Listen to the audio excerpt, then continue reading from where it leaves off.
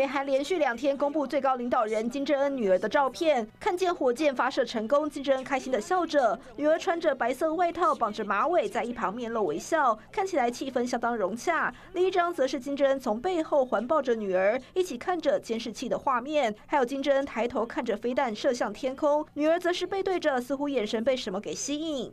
조선민주주의인민공화국 전략무력의 신형 대륙간 탄도미사일 시험 발사가 진행됐습니다.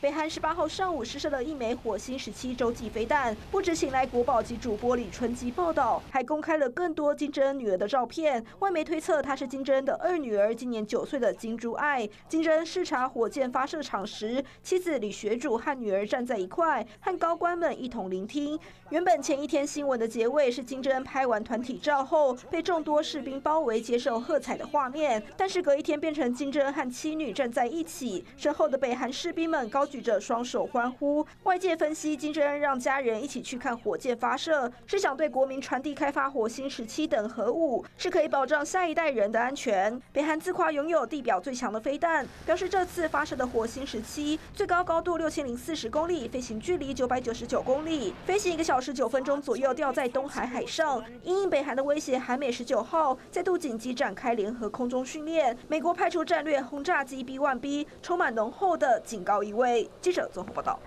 旺旺水神抗菌液，它的成分呢是微酸性电解次氯酸水，它呢跟病毒作用还原之后呢，它是还原成水的，所以对人体，包含孕妇、对儿童都没有影响。重要的是，它一天用上好几千次、好几百次都没有问题哦。很好奇在哪里买吧？直接上快点购。